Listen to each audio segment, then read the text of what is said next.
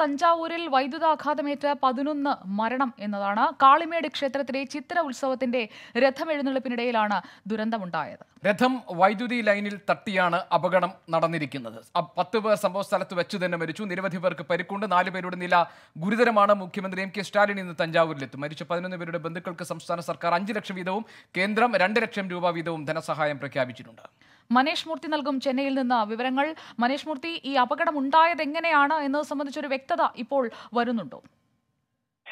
സുജയ സുജയ പാർവതി ഗോപികൃഷ്ണൻ തഞ്ചാവൂരിന് സമീപത്ത് അതായത് ഈ രഥം ഇരുപത് അടിയോളം ഹൈറ്റുള്ള ഉയരമുള്ള രഥമാണ്. ഈ രഥം വൈദ്യുതി ലൈനിൽ തട്ടിയാണ് അപകടം ഉണ്ടായിരിക്കുന്നത് ഇന്ത്യ പാസ് ചെയ്യുകയും വേഗത്തിൽ ആ രഥത്തിന് തീ പിടിക്കുകയുമായിരുന്നു മാത്രമല്ല ഈ രഥം വലിച്ചിരുന്ന ആളുകളും അതുപോലെ തന്നെ അവരെ രക്ഷിക്കാനായി എത്തിയ ആളുകൾക്കുമാണ് കാര്യമായി മരണവും അതുപോലെ തന്നെ പരിക്കും ഉണ്ടായിരിക്കുന്നത്. ഏറ്റവും ഒടുവിൽ ലഭിക്കുന്ന വിവരങ്ങൾ അനുസരിച്ച് പതിനഞ്ച് പേരാണ് ഇപ്പോൾ തഞ്ചാവൂർ മെഡിക്കൽ കോളേജ് ആശുപത്രിയിൽ പ്രവേശിപ്പിച്ചിട്ടുള്ളത്. അതിൽ ഒരു കുട്ടിയുടെ നില മാത്രമാണ് ഇപ്പോൾ ഗുരുതരമുള്ളത്. ബാക്കി പതിനാല് പേരും വൈകിട്ടോടുകൂടി ആശുപത്രി വിടുമെന്നുള്ളൊരു വിവരമാണ് എന്തായാലും ലഭിക്കുന്നത്.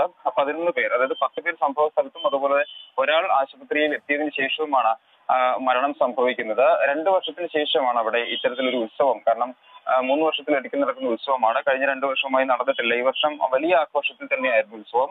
പുലർച്ചെയാണ് ഈ രഥോത്സവം അല്ലെങ്കിൽ രഥം തെരുവിലൂടെ കൊണ്ടുവരുന്ന ഒരു ചടങ്ങ് നടക്കുന്നത്. വലിയ ആഘോഷം തന്നെയായിരുന്നു. അതിനിടയിലാണ് ഇത്തരത്തിലൊരു ദുരന്തം സംഭവിക്കുന്നത്.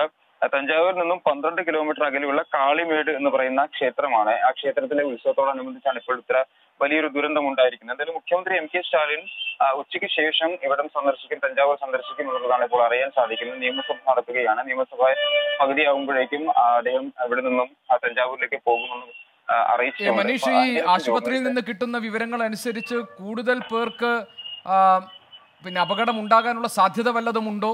ഇപ്പോൾ ഒരു കുഞ്ഞിന്റെ നില മാത്രമാണ് ഗുരുതരം എന്നാണല്ലോ നമുക്ക് കിട്ടുന്ന വിവരങ്ങൾ അല്ലേ ആ, ഒരു കുട്ടിയുടെ നില മാത്രമാണ് ഗുരുതരമായി തുടരുന്നത് എന്നുള്ളതാണ് ആശുപത്രിയിൽ നിന്ന് നമുക്ക് ലഭിക്കുന്ന വിവരങ്ങൾ. ബാക്കി പതിനാല് പേരുടെയും നില സാരമുള്ളതല്ല. അവർ എല്ലാവരും തന്നെ വൈകുന്നേരം വൈകുന്നേരത്തോടു കൂടി ആശുപത്രി വിടും എന്നുള്ളൊരു വിവരം തന്നെയാണ് നമുക്ക് ലഭിക്കുന്നത്. എന്തായാലും മരിച്ച ആളുകളുടെ കുടുംബത്തിന് അഞ്ചു ലക്ഷം രൂപയുടെ ധനസഹായം മുഖ്യമന്ത്രി പ്രഖ്യാപിച്ചിട്ടുണ്ട്. മാത്രമല്ല പ്രധാനമന്ത്രി നരേന്ദ്രമോദി ഈ അപകടത്തിൽ അനുശോചിക്കുകയും രണ്ട് ലക്ഷം രൂപയുടെ ധനസഹായം ഈ മരിച്ചവരുടെ കുടുംബങ്ങൾക്ക് പ്രഖ്യാപിക്കുകയും ചെയ്തിട്ടുണ്ട്.